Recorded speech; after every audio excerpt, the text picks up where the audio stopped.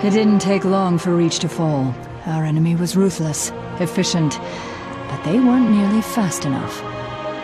For you had already passed the torch, and because of you, we found Halo, unlocked its secrets, shattered our enemy's resolve. Our victory, your victory, was so close. I wish you could have lived to see it. But you belong to Reach. Your body, your armor, all burned and turned to glass. Everything. Except your courage. That you gave to us.